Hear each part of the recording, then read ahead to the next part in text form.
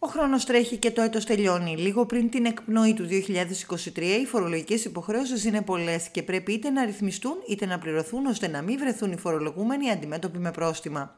Ο πρόεδρος των Λογιστών Φοροτεχνικών επισημαίνει όλα όσα πρέπει να γίνουν τις επόμενες ημέρες, ενώ καλεί τους φορολογούμενους και ειδικά τους ελεύθερους επαγγελματίες να είναι πλέον πολύ προσεκτικοί, καθώς το 2024 επιφυλάσσει μεγάλες αλλαγές στα φορολογικά μας.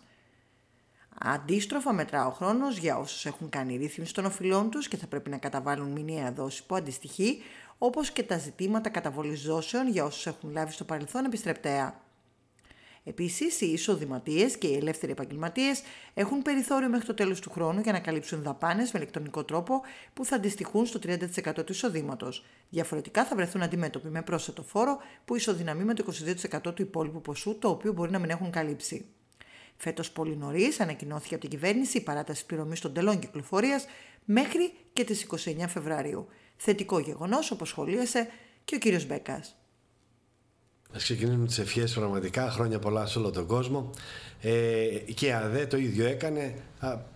κάθε φορά ζητούσε χρήματα, κάθε φορά ζητούσε κάποια αλλαγή να γίνει στο σύστημά της.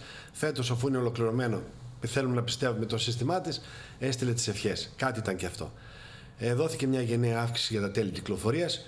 Περιμέναμε ε, μια παράταση, αλλά ε, ήταν αναμενόμενο να δοθεί η νέα παράταση. Ήταν γενναία η παράταση, δόθηκε για δύο μήνες, οπότε μπορούν να πληρώσουν όλοι όσοι κατέχουν οχήματα μέχρι 29 Δευτέρου του 2024.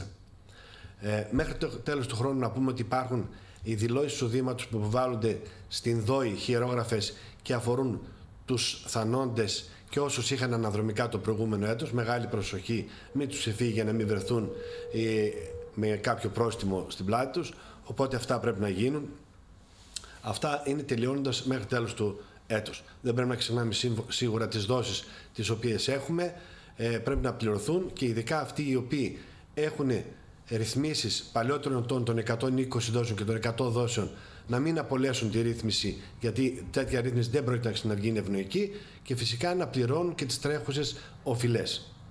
Ε, από το νέο έτος να πούμε δύο πράγματα μόνο ότι θα πρέπει ο επιχειρηματικός κόσμος ε, με το My Data που μπαίνει στη ζωή μας σε πραγματικό χρόνο με την ηλεκτρονική τιμολόγηση, με την διασύνδεση των αμυακικών μηχανών με τα POS αλλά και με τις ατομικές επιχειρήσεις οι οποίες πλέον θα φορολογούνται με διαφορετικό καθεστώς, μεγάλη προσοχή, ε, θα γίνουν μεγάλες αλλαγές, πρέπει να υπάρχει ένας συντονισμός ε, των, των επιχειρήσεων ε, με τους λογιστές, πραγματικά το λέω να ακούνε τους λογιστές γιατί θα βρεθούν προεκπλήξεων και με μεγάλα πρόστιμα.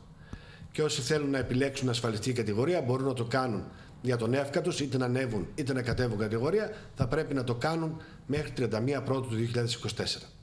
Ναι, είναι πολλά τα οποία θα αλλάξουν με το νέο έτος και ε, είναι και πολλά αυτά τα οποία θα πρέπει να προσέξουν κυρίως οι ελεύθεροι επαγγελματίες για να μην βρεθούν αντιμέτωποι με φουφτερά πρόστιμα.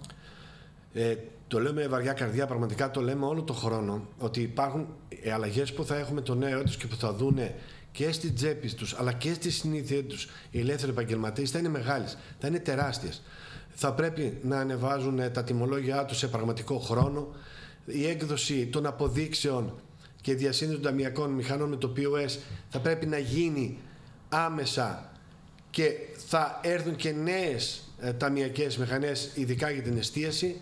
Επίσης, οι ειδικοί μηχανισμοί σήμανσης καταργούνται μέχρι 28 Δευτέρου του 24 Υπάρχουν πράγματα τα οποία δεν αφορούν όλο τον κόσμο, αλλά αφορούν τους επαγγελματίες και είναι λέξεις που λέμε τώρα όπως ειδικός μηχανισμός σήμανσης που το ξέρουν αυτοί που το έχουν. Αλλά πραγματικά θα πρέπει να υπάρχει ένας συντονισμός πλέον τέτοιος που να μπορούν να αποκωδικοποιήσουν όλα αυτά που συμβαίνουν γρήγορα γιατί τα πρόστιμα που θα πλέον έχουν ε, νομοθετηθεί το, τις προηγούμενες μέρες θα είναι τεράστια και τσουχτερά.